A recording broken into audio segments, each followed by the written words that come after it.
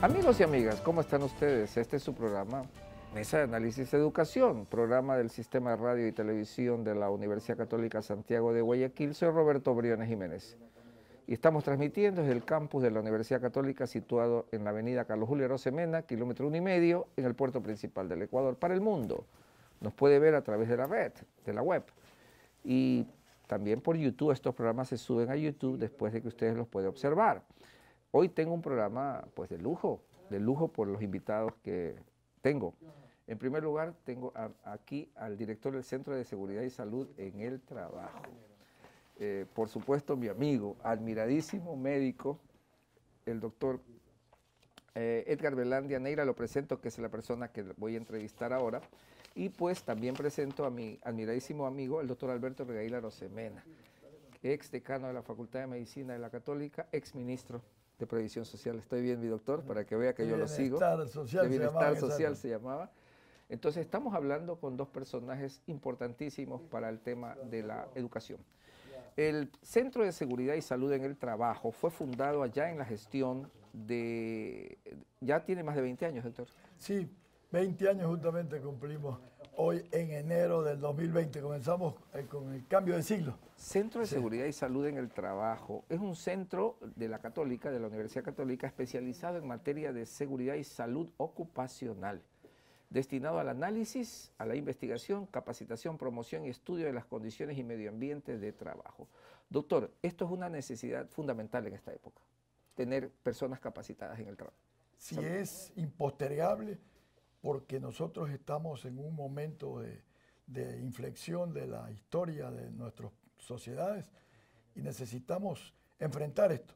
Solo para mencionar los objetivos de desarrollo del milenio, tenemos del 2015 al 2030 un compromiso y nosotros nos hemos apropiado de dos de estos objetivos, de estos grandes indicadores, que son el 3 y el 8. El uno es sobre salud y bienestar, fundamental para toda sociedad como base de los objetivos de desarrollo. Y el 8, que es el de trabajo decente y el desarrollo económico y el crecimiento. La OMS hace más de 40 años, la Organización Mundial de la Salud, habla de que la salud es el estado de completo bienestar, no solo físico, sino también psicológico, moral y yo le añadiría social y hasta espiritual. Entonces, salud es todo eso.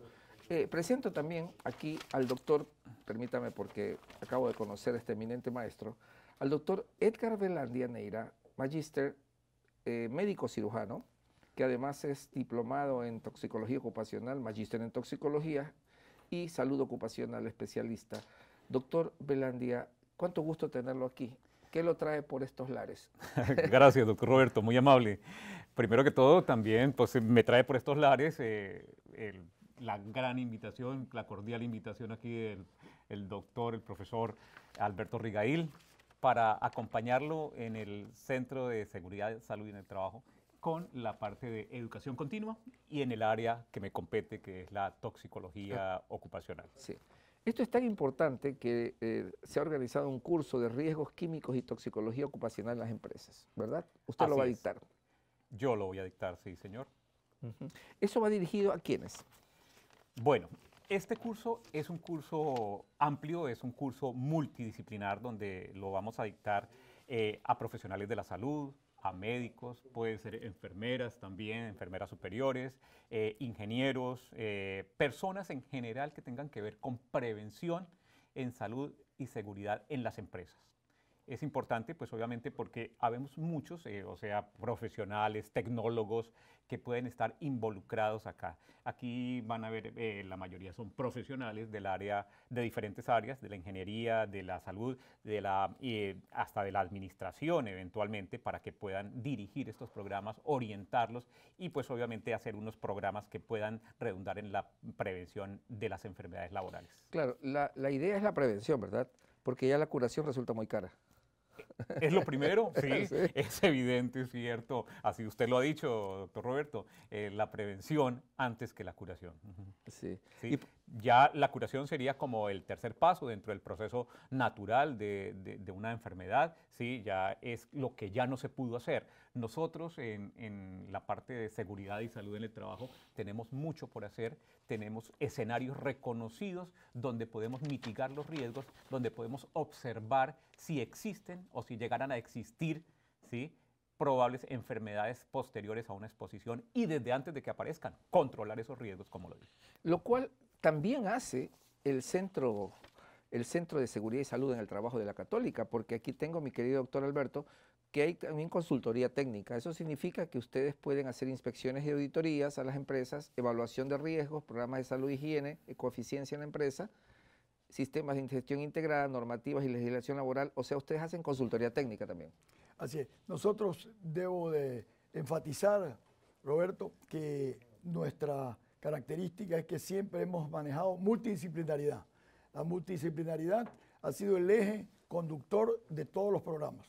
Desde que iniciamos el centro hace 20 años y hoy estamos en un periodo, tal vez la, la autoridad de esta universidad que más conozca nuestro accionar es el actual rector, porque el actual rector el economista Mauro Toscanini Segales fue vicerrector durante 10 años y hoy lleva un largo periodo ya de reelecto de rector y él conoce toda la dinámica y las características de nuestro centro, que es integrar. Nosotros no hemos concebido nunca desde el inicio algo que es solo para médicos y solo para ingenieros o solo para abogados, solo, sino tenemos un concepto integrador. Las disciplinas tienen que interactuar en conjunto para producir un efecto de interacción en la sociedad y realmente desarrollar un programa que siempre son integrados. Por eso es la presencia del doctor Belandia con amplio espectro de participantes de distintas No, y también usted, usted, doctor Alberto, tiene eh, un background excelente, sus conocimientos y sus conocimientos no solo de la realidad de las empresas, sino también del Ecuador entero, pues, ¿no? Eh, es una garantía, ciertamente. Eh, en, doctor Belandia, entonces, una vez que nosotros detectamos en las empresas que existe algún, algún índice de toxicología y que eso pueda ser ayudado, no es para excluir gente, sino para mejorar la empresa, ¿verdad? Totalmente, totalmente. Eso es así, eso es para mejorar las condiciones de salud de los trabajadores. Y una empresa con un trabajador sano es una empresa productiva. Es una empresa sana, digamos. Es una empresa sana, es una empresa que tiene una, eh, una fuerza laboral que es, va a estar muy bien física, como usted lo dijo, con la definición física, mental y socialmente y espiritualmente, esa parte me gustó, ¿sí? que van a trabajar muy cómodamente y que obviamente se les está previniendo que a un futuro lleguen a tener una enfermedad por causa y con ocasión, en este caso, de los agentes eh, químicos. ¿Hay cómo saber, por ejemplo, previo a la contratación de un empleado que consume sustancias tóxicas? Hay cómo hacerlo, hay exámenes, las empresas no los hacen, pero digo, ¿hay cómo hacerlo? Bueno, eso realmente es una parte, es una situación o una, situación muy particular, el consumo de sustancias psicoactivas. ¿sí? Eso es solamente una parte. Eso es solo una parte. Sí. El consumo de sustancias psicoactivas es solamente una condición que puede tomar o no tomar o no tomar el individuo que va a ser trabajador. Eso es como el hecho de que consuma alcohol, que consuma, que consuma tabaco. O que sea obeso y consuma mucha comida. O que sea obeso por comida. Eso ya es una situación particular. Las empresas pueden tener programas eh, específicos de prevención eh, para poder detectarlo y también va acorde a ciertos riesgos. Me explico, o sea, no es lo mismo una persona que tiene que producir en un escritorio un determinado texto a una persona que va a conducir un vehículo o un avión, ¿cierto? Un piloto, No es lo mismo para, eh, para el consumo de la sustancia psicoactiva. En el primer caso, podríamos decir, no es excluyente, pero podríamos decir que no tendría un mayor riesgo, excepto de que se equivocara en alguna de las palabras, ¿cierto? Pero ¿Qué pasa con una sustancia psicoactiva en un conductor de un avión de transporte público o en, una, o en un avión? ¿sí? La situación es completamente diferente. En ese caso, la empresa tiene que tomar eh, la parte preventiva mm, con sus programas compactos, concretos, bien establecidos para que estas personas estén en las mejores condiciones. Sí, me viene a la mente entonces que en el en el común denominador de las personas hay empresas donde se requiere con urgencia este tipo de cosas y hay otras que esperan, ¿no? Vamos a verlo eso en el siguiente corte, hablando precisamente de la aviación, que es interesantísimo, todos viajamos en avión. Sí. Amigos y amigas, regresamos enseguida al segundo segmento de este interesante programa con expertos en salud laboral. No se vayan.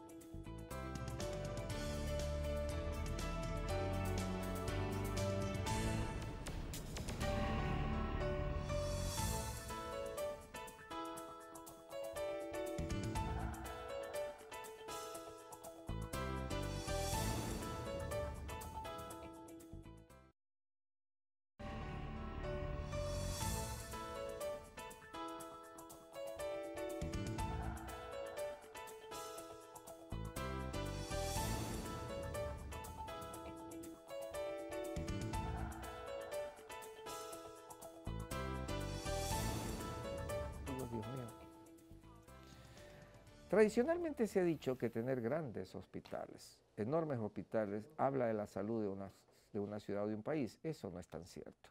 Si estamos hablando de prevención, es antes de que ocurran los problemas, desconectarlos, poder detenerlos. Y de eso es lo que habla este, esta interesante entrevista que estoy teniendo acerca del Centro de Seguridad y Salud en el Trabajo, a propósito de la presencia aquí del doctor Belandía, que es un médico colombiano que trabaja en toxicología y que ha venido para dictar este eh, seminario, de, un curso de riesgos químicos y toxicología ocupacional en las empresas. Esto no es solamente un... Estamos hablando de siniestros laborales, doctor Alberto, siniestros laborales. ¿Qué comprende un siniestro laboral solamente? Así es, Roberto. Mire, el siniestro laboral es una serie de afectación que tiene un trabajador o trabajadora en sus condiciones de salud y esos pueden provocar accidentes. Y a propósito del doctor Velandia, hay accidentes toxicológicos que se producen con el uso de algunas sustancias a nivel agrícola. Hay también enfermedades. La patología laboral no es la misma que la patología de medicina interna. Entonces es muy probable que a nivel de medicina interna no se visualice los potenciales riesgos de las enfermedades laborales que están en todos los campos de nuestras especialidades. Y aún en la educación, doctor, los, estudiantes de medicina son los que más se estresan en el mundo. En el mundo. Y las discapacidades. Y usan, y usan drogas, y que para no dormir, ¿ah? Usan drogas para no dormir, el cigarrillo que se aumenta. Es terrible, ¿no? Y, y, otra, Robert, y la discapacidad, entonces la suma de todos estos componentes, accidentes, enfermedades, discapacidades, esto es un siniestro laboral y esto afecta al Producto Interno Bruto, al desarrollo económico. Es decir, es impostergable que la atención de la salud de la comunidad y del Ecuador se dinamice en función de la atención que estamos. El año pasado, aquí en la facultad, tuvimos el aniversario de los 40 años de la alma ata de la atención primaria de salud que se emitió en la Unión Soviética en 1978 cuando se habló de atención primaria de salud. Hoy cumplimos esa época 40 años. Doctor, la necesidad desborda a los servicios. Realmente no tenemos expertos en la cantidad que deberíamos tener para estos temas. Son pocos, ¿verdad? Hay poca preocupación. La tendencia es preocuparse en el final, la afectación de hospitales cuando la enfermedad se ha producido. Pero a nosotros nos interesa la atención primaria. Enfatizamos en que la prevención es un concepto que implica prever, predecir y preactuar. Hay que preparar todo un... Y para eso está toxicología, higiene ocupacional, no higiene solamente sanitaria de lavados de mano, etcétera, que son fundamentales, sino la higiene ocupacional es ver los componentes farmacológicos tóxicos que están en los sectores industriales. Por eso es este curso, apreciado Roberto. Y tiene que ver con la educación, pues doctor, ¿no? Por eso es que ustedes dan estos cursos y dan la especial, inclusive tienen una especialidad ustedes, doctor, estaba viendo, eh, estaba pensando si me puedo meter en la especialidad en gestión de seguridad, y, porque me parece importante para todo. Doctor, en toxicología Colombia ha avanzado mucho, porque eh, tiene, más, tiene expertos, es más grande y, pues bueno, han pasado por problemas serios. La toxicología como ciencia debería estar ya dentro de la currícula del grado, por ejemplo, en las universidades. ¿Qué le parece a usted? Allá tienen ustedes especialidades en toxicología. Correcto, así es, doctor Roberto. nosotros en Colombia, eh, yo hago parte de la historia de la toxicología. ¿sí? Obviamente, varios profesores me, me, precedieron, pero yo soy eh, de la primera promoción prácticamente, bueno, eh, realmente de la segunda, sino que se fusionó, de la segunda promoción de la Universidad Nacional de Colombia en la maestría de toxicología. ¿sí? Eh, para ese momento estábamos empezando la parte de toxicología. Después vinieron ya las cátedras eh, ya de las universidades con toxicología, no solamente a nivel de maestría, sino como toxicología clínica.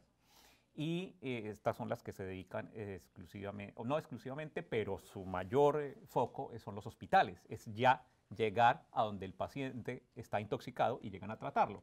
Nosotros, nosotros en combinación, digo yo, eh, la toxicología con la parte de seguridad y salud en el trabajo, hemos combinado esas dos. Y estamos, como bien lo ha explicado el doctor Alberto, en esa parte de prevención, en esa parte de tomar todo ese ambiente, ver qué es lo que está funcionando mal allí en ese ambiente, ¿sí?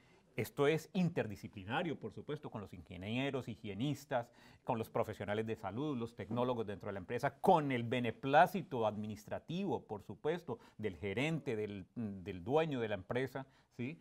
Eh, para que se puedan dar todas estas circunstancias. Entonces, en ese sentido, eh, estamos, eh, los que estudiamos maestría y, ¿por qué no, toxicología clínica? Estamos haciendo un énfasis en, en salud ocupacional. salud ocupacional. En salud ocupacional. Y mm, me preguntaba usted inicialmente de, de la parte de toxicología en Colombia. Claro que sí, se ha difundido ampliamente. Eh, hoy en día, para lo que se necesita, mm, eh, puedo decir algo atrevido de pronto, somos aún pocos eh, los toxicólogos ocupacionales, ¿cierto? De pronto falta que la empresa entienda, la parte mm, empresarial entienda la necesidad. Eh, aquí me voy a explicar, si usted me lo permite, voy a explayarme un poquito más. ¿Por qué? Porque eh, todo es importante, la ergonomía, el riesgo biológico, el riesgo de seguridad, absolutamente aquí todos hacemos una situación eh, conjunta. los riesgos físicos, pero por decir algo, un riesgo físico como el ruido. ¿sí? El ruido da eh, una hipoacusia neurosensorial ¿sí? al trabajador. Pero ¿qué pasa con el riesgo químico? El riesgo químico muchas veces pasa desapercibido. Desapercibido, claro. es invisible, lo tenemos. El trabajador lo asimila y hay un cambio en él que no sabemos cuál es. Ruido, en el ejemplo, hipoacusia, tiene un órgano blanco. Aquí también tenemos órganos blancos, pero a veces tenemos efectos muy deleterios, un cambio de conducta, un cambio comportamental, un cambio en el retraso del pensamiento, del análisis, eh, por tantos neurotóxicos, o sea, sustancias que pueden afectar el sistema nervioso. De manera insensible, ¿verdad? Sí. Y de pronto le dicen, oiga, usted es una persona que ya está haciendo las cosas muy lentamente o las está haciendo mal. ¿Será de la persona o será por la exposición? Esto a modo de ejemplo, ¿sí? claro, Obviamente. Claro. Dentro del curso lo que tratamos de explicar y lo que tratamos es de llevar a que se haga una parte metodológica, ¿sí? Que se sigan unos pasos para evaluar lo evidente y poder llegar hasta de pronto hasta lo no evidente, como en este, como en el caso del ejemplo, lo deleterio que también se puede, que se puede y se debe prevenir. Correcto. Y hay tanto por hacer, ¿no? Las empresas no sé, me avisa por favor la productora si estoy bien en tiempo, las empresas eh, deben concienciar, doctor, no solo las empresas, eh, bueno, eso vamos al siguiente, en el siguiente corte vamos a tratar, les dejo el tema, empresas privadas, pero también la empresa pública, que es la que tiene la gran cantidad de empleados. Regresamos con más en este último segmento y este interesante programa de la Universidad Católica. Ya regresamos.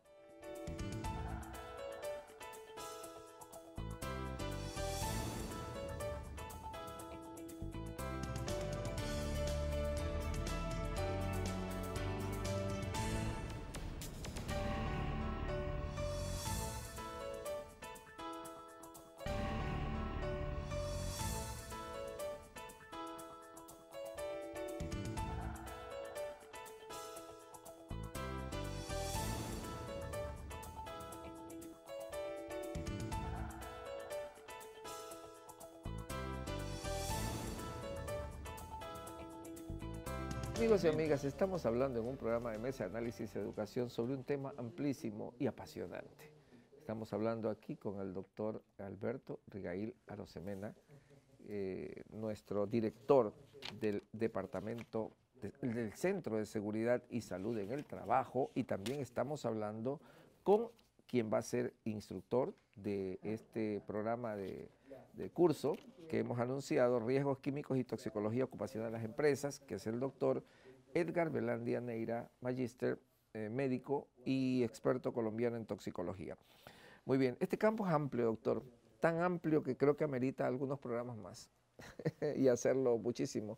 Eh, doctor Velandia, usted va a estar por poco tiempo acá en Guayaquil, si no, me encantaría tenerlo también en mi programa de radio. Con muchísimo gusto, doctor. Eh, Roberto. Coordinamos fechas porque el tema es apasionante, doctor. Igualmente, bueno, usted es un invitado de siempre aquí. Gracias, encantado. el domingo, este, él se va el domingo, pero podría ser el día viernes, mañana, no mañana sé si, sí, yo. posibilidad sí, la radio. Correcto, podría ser y encantado, porque es un tema que no lo vamos a poder eh, desbrozar, y, imposible, en unos dos, tres programas imposible. Sin embargo, ustedes, amigos, y yo también tenemos la oportunidad de ir al curso, pues. Claro. Tenemos la oportunidad. Invitados todos. Invitados todos. Doctor, ¿el curso cuándo comienza? El curso comienza hoy en la tarde. Ya. O sea, y este curso tiene duración de 20 horas. 20 horas. El curso va a ser con actividades que lo puede explicar el profesor Edgar, de, con actividades, conceptos, aparte conceptuales, pero hay ejercicios, trabajos grupales, prácticas, incluso accidentes toxicológicos, cómo enfrentar esas emergencias y cómo un poco monitorear con marcadores una serie de circunstancias que ocurren en la toxicología para la detección primaria de, las afecciones. El profesor nos puede comentar. Es que es tan amplio, doctor Edgar, ¿no?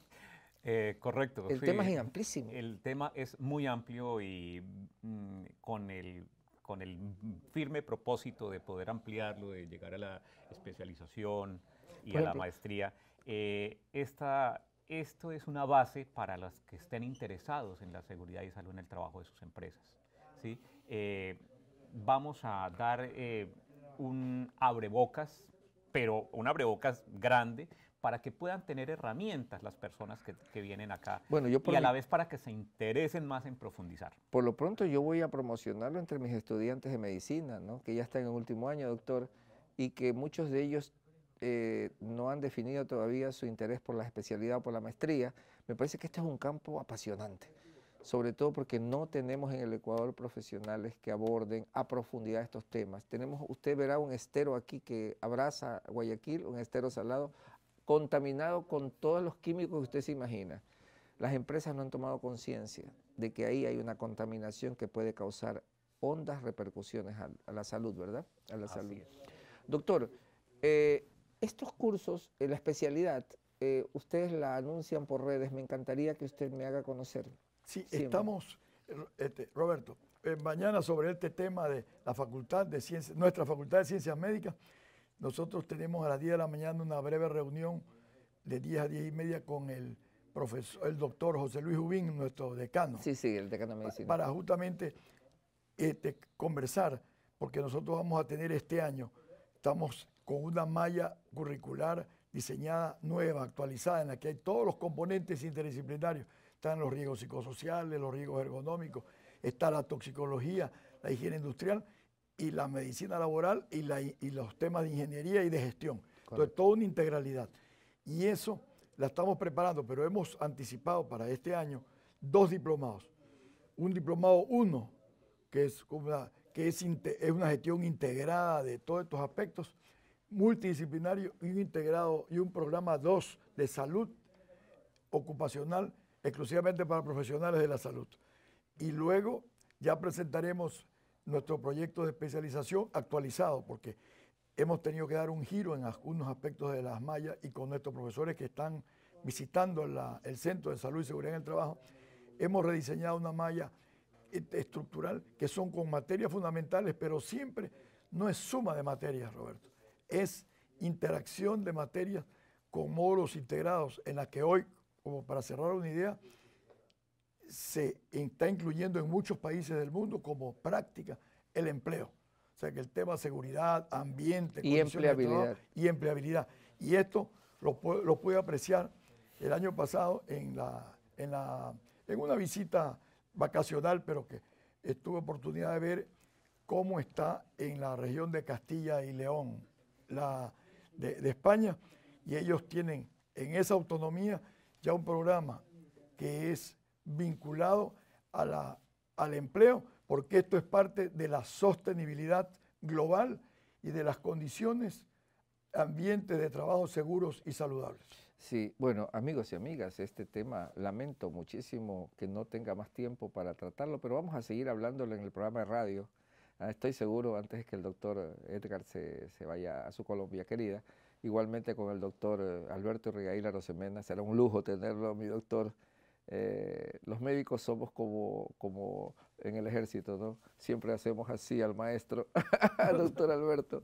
Eh, gracias por estar aquí. Se nos fue el tiempo pero lo felicito, doctor Edgar, por lo que está haciendo y espero en algún momento que me tenga de alumno. Yo también quisiera conocer más de estos temas, ¿no? Sería todo un placer, doctor Roberto, y escuchar también sus experiencias, porque todos tenemos nuestras experiencias y todos con la parte específica de la toxicología hemos tenido algún acercamiento, ya sea desde el punto de vista laboral, ambiental, porque todos estamos expuestos a un agente químico, a un elemento químico. Guayaquil necesita mucho de esto, ¿no? Entonces también hago un, un llamado a mi amiga eh, la doctora Marta, Marta Karina Santos, directora de salud del municipio de Guayaquil, porque creo que este tema para usted, eh, Marta Karina, querida, le va a interesar muchísimo y a la alcaldesa de Guayaquil, que está tan preocupada por estos temas de amplia modernidad.